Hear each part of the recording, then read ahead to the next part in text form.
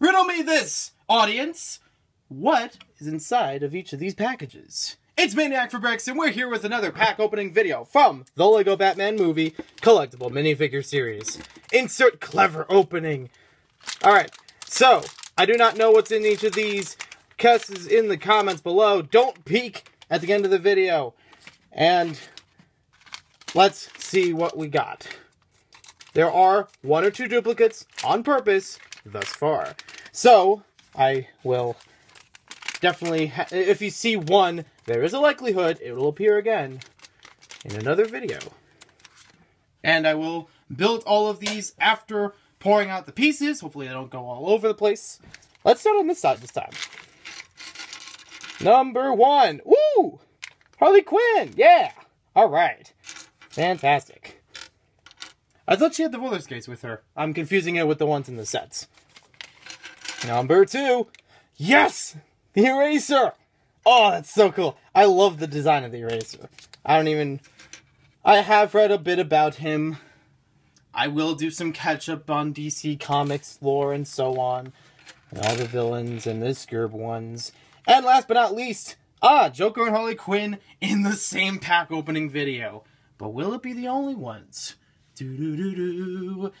Alright, so I'll go build them and let's review them up close. Oh, you just look so sad here. I mean, comically sad, but still. This is the inmate version of the Joker in Arkham Asylum. I believe they actually do have him in the Arkham Asylum set with the Lego Batman movie lineup. Um, so kind of interesting, but hey, if you can get him in this way, it actually opens the door for a lot of possibilities.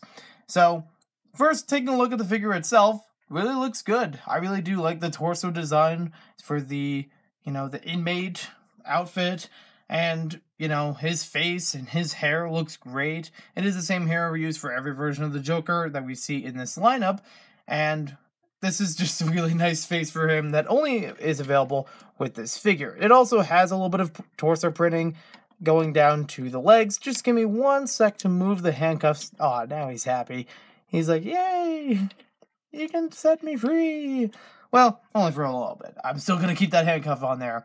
Barbara Gordon's just waiting in the corner. So there's a better look at the printing all the way around. And honestly, I would like to pick this up in multiples so that I can get multiple versions of inmates. You know, any uh, any multiple versions of villains, I should say, to put into these inmate, you know, uniforms for Arkham Asylum. Now, I'm not really sure if I would get the Arkham Asylum set, but this would just be a good strategy. And you may say, well, what about the white that's on his torso and the white that's for his hands?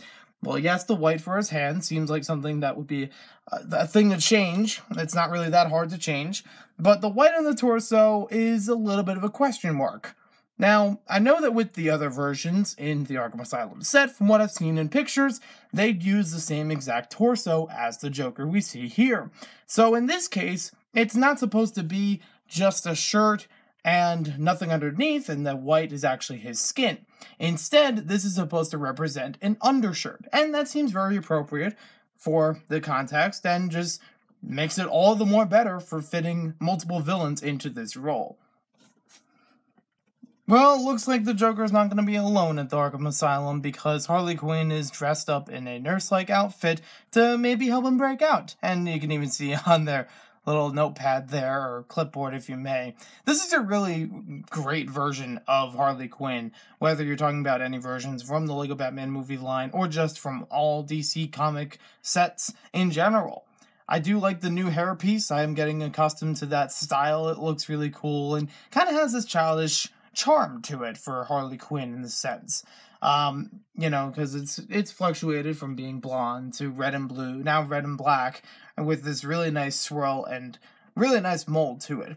Um, that's a piece that you're really gonna have to look for to figure out if this is Harley Quinn compared to any other characters. This little piece on top is actually pretty interesting because this is on a pin that's on the side and that's supposed to mold right into the top of Harley's hair, which is actually a centered hole. So you can use that for other accessories of a small pin size like that.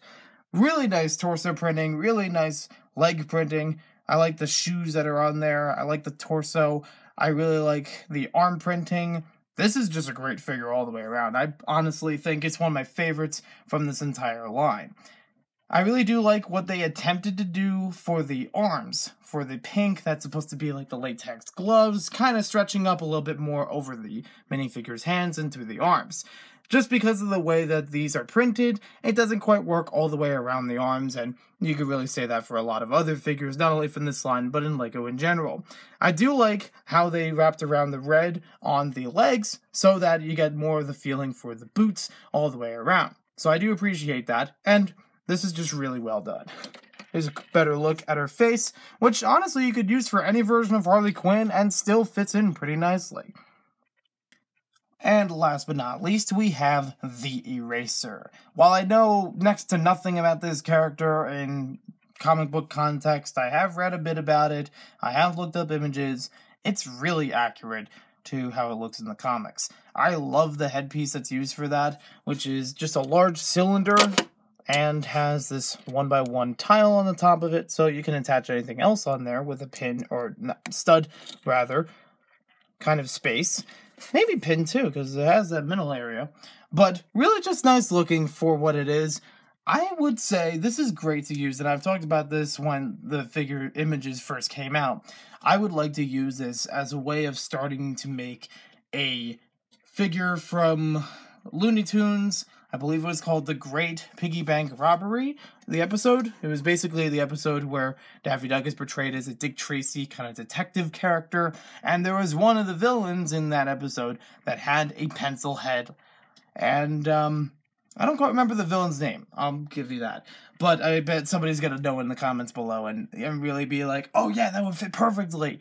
Um, so that'll be fun to add that head itself onto that character. I would even say maybe use the head for one or two other things and other media, but I digress. So, the rest of the figure, really nice for the pencil outlines, you know, for the, all the lines would be on a pencil. Great to do on the legs, great to do in the arms, fits all the way around. I like the little black that's underneath for his shirt, underneath the jacket. And on his notepad, it says to erase because he has the power to erase evidence from crime scenes. I could see him as being one of, well, I could see a lot of these villains, honestly, being background characters for the Lego Batman movie. Maybe it just seemed like a big crowd, and it's just all this, you know, fight stuff going on. But I don't think he's going to have like a dominant role in the movie itself. Now, since we have a villain here, I wanted to bring up the point I thought about before with having other villains in this costume idea. Bam! Perfect. Flawless. Well done. Now, yes, as we transition from one figure to the other, you can tell obviously he did not have a white shirt underneath, but I guess that would be part of the Arkham Asylum uniform. I did use the black hands from another minifigure. I did not get them from the Joker because you remember he had them in white.